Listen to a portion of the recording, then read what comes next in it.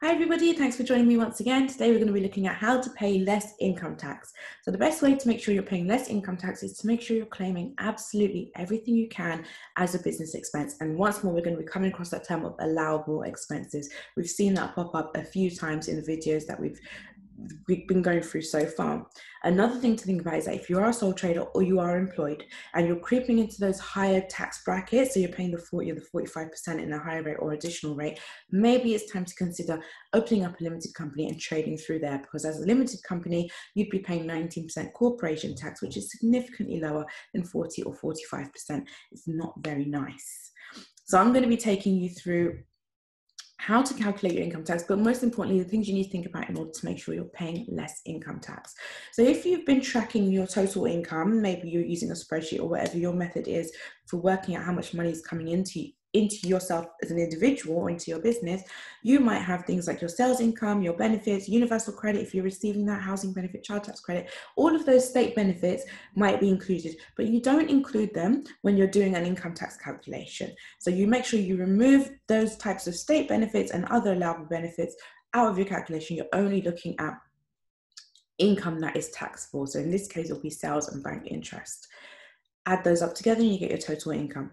Then you're going to be looking at your expenses, which we've seen happen a few times uh, in the past few videos. So things like your direct costs, admin costs, bank charges, bills, electricity, things like that.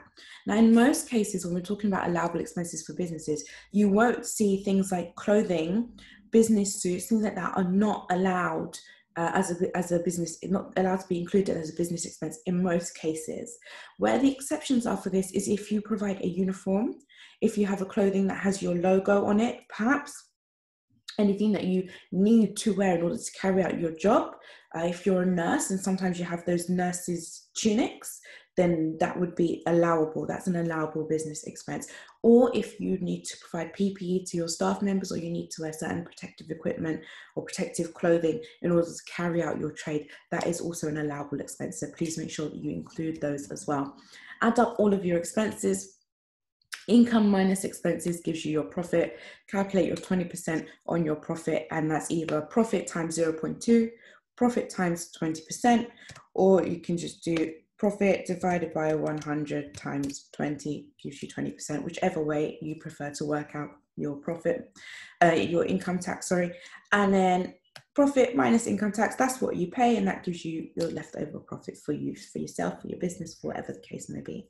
Now, here we're paying 1500 quid in tax, but there's other allowable expenses that you may be eligible to take advantage of. And for most of you, those are going to be work from home allowances and mileage allowances. So, mileage allowance is 45p for the first 10 per mile for the first 10,000 miles. 25p for each mile after that. And if you we go for the basic rate and we take everything that we can in the first 10,000 miles, that's 4,500 quid. That's an allowable deduction uh, on your tax bill. So definitely claim that. Work from home allowances, the simple rate is uh, four pounds per week, four times 52 weeks, about 208 quid approximately. That's this simple claim if you have like a home office space and you want to do a more complex calculation, maybe you'll be able to get get a bit more money out of it it would be based on the square footage of your home compared to the square footage of your office space or whatever the work space is that you're using in your home. And then you can apportion things like rent bills electricity etc then apply that to your office space or your work from home space and then calculate that as your work from home allowance as well. So if we do that and we say total income minus total expenses, minus our allowable expenses as well, then our profit is only 3,000 quid and we're paying tax 600 pounds on that. So we've more than halved our tax bill. So these are the kind of things you want to think about and be aware of. Now, it does get a little bit confusing and there's a lot, a lot to know about what is allowable and what isn't allowable. So in the free guide that I'm got on the website for you guys, please go and check it out. I'm going to have a lot more detail into what is um, taxable income that you need to be including, what are your allowable expenses, what are the most common benefits that you could be taking advantage of when you're calculating your income tax bill. So definitely please do go and check that out. That's it for today. We're keeping it short and sweet again.